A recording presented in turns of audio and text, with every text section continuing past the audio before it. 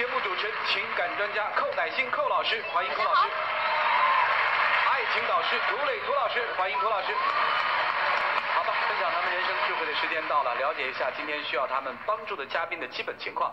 各位，请看。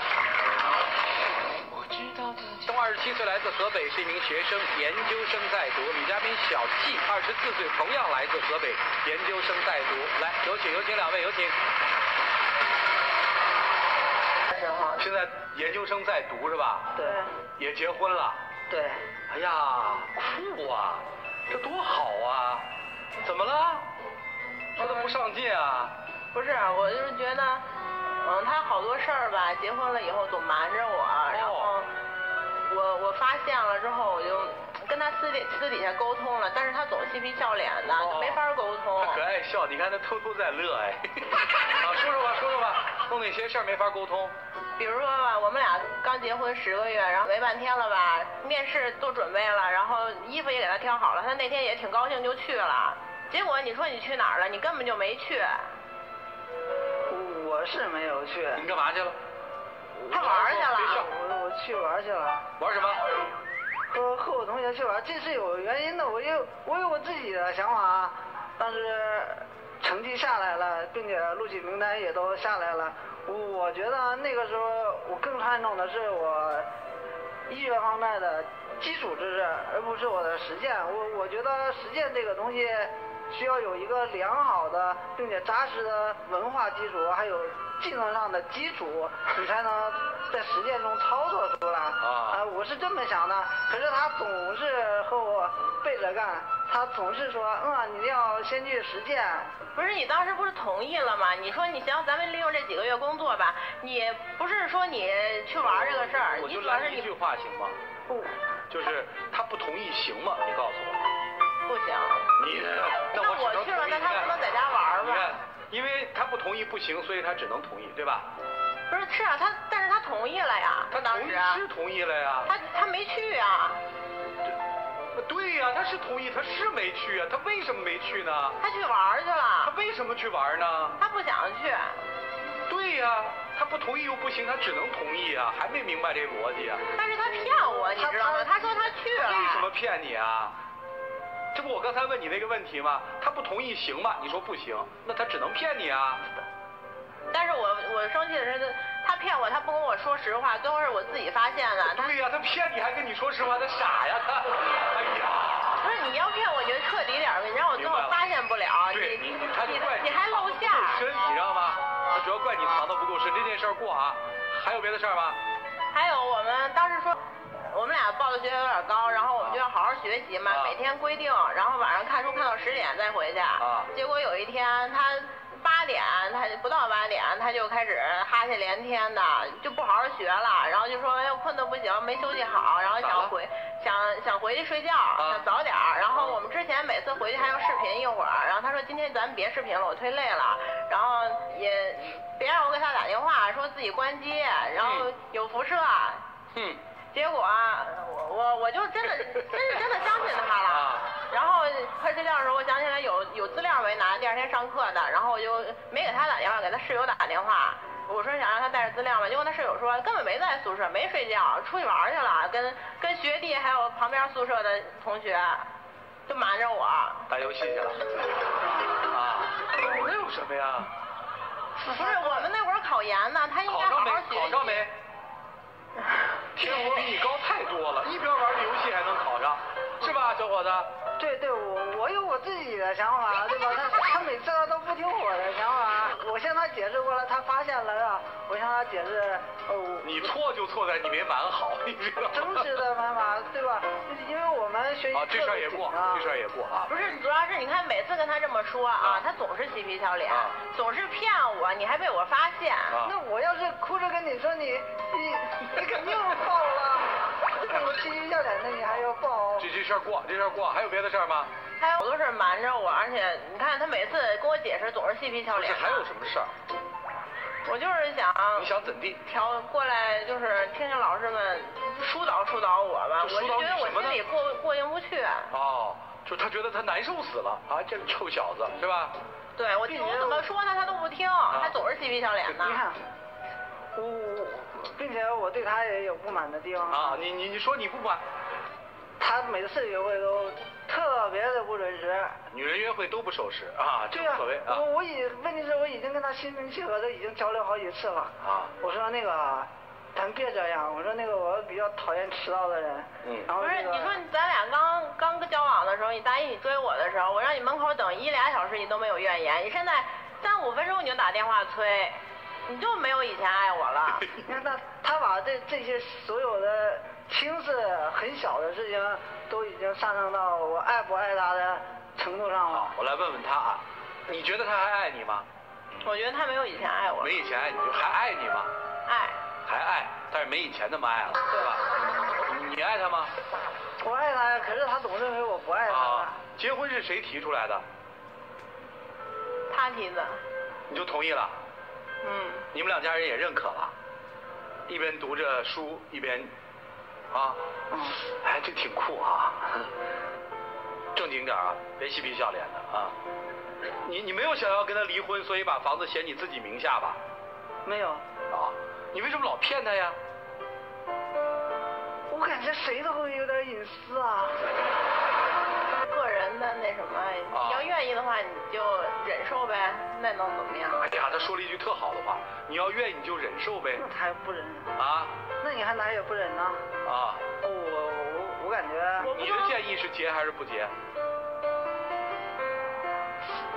情到深处情到自然，水到渠成，哦，水到渠成情。到深处自然成。哎，情到深处自然成，怎么办呢？是有问题吧？是啊，要离婚吗？不离。你还上这儿来？这我们这节目不是个离婚节目。对，我就是忍受不了他每次解决问题总嬉皮笑脸。我不能忍受嬉皮笑啊脸。对，我觉得得严肃，不管什么事儿，你只要说那我两个人心平气和谈，你就得就得严肃点儿。那我相信他最不能忍受的就是你的严肃了吧？是吧，兄弟？为什么他是每次都把小事情放得特别大？哦，把一点点小事放到很大啊，所以他们今天来了，来，我们一起。我想跟你们谈一谈什么叫婚姻这件事儿。我先问一下男生吧，请问你为什么急着跟他结婚呢？你所谓的情到深处水到渠成，那时候是什么一个感受呢？感觉就是每次有高兴的事情都想跟他分享。嗯，嗯，有伤心的事情呢，我也特别想和他和他说一说。然后有有的时候见不到他嘛，总感觉缺一点什么。所以你想跟他朝朝夕夕的处在一块儿，对。不用再思念了，是吧？啊、所以你从来都没有想过，这个世界上有可能会有比他更吸引的女孩，然后我不会想要再多看看世界这么大吗？我觉得不会了，很确定，确定吧？至今没有后悔过。没有后悔过。我想问这段话，是因为我还真的挺不甘愿的。凭什么就是你呀、你知道我为什么这样觉得吗？我真觉得我条件没有比你差，我咋就遇不到这样子老是嬉皮笑脸、不会对我发脾气的男人呢？哦，然后在初恋就非我不可，一生一世，世界这么大，他都不要看了，他就决定要在这么年轻的时候跟我结婚。你知道吗？这个世界上呢，不要说这个世界好了，我们就说在这个舞台上吧，多的是站在这个位置，然后呢，怎么样都不肯结婚的男人，有各种理由。包括我事业还没有建立啊、要先立业再成家，然后呢，呃，我想要先存一笔钱，我父母还不同意，或者是我们之间了解的认识还不够，还有很多矛盾，大概呢各种光怪陆离呢，合理不合理的这个问题，我们都已经听过借口了。我还很少在这个台上呢，听到有一个男的在这么年轻的时候就告诉我说，我就是想跟他常常在一起。我要告诉你的是，有的时候，你说心里需要梳理，让我们帮你，你心里过不去，会不会只是因为你不懂得珍惜跟感谢？请问这男人为什么非要像以前一样爱你啊？除非你一直不断的进步，你越来越有魅力，你越来越懂他，他觉得我以前很想见你，现在我觉得我更想见你。以前觉得我们心有灵犀，现在觉得我们简直是灵魂的伴侣。除非你越来越能证明你对他生命的不可或缺性，要不然他没有像以前一样爱你是正常的。我再问你一件事，他可不可以有自己的想法呢？他捏在这个台上讲的最多的一个台词就是“我有我自己的想法”。请问你的老公能不能有他自己的想法？可以有，他能不能不听你的呀？有些事儿可以。不，有些事儿可以吗？在你们家目前是每件事都不可以。他为什么非得骗你呢？当然，我认为欺骗是不对的。但我认为逼着对方非得要用欺骗的方法来过日子，也是不对的。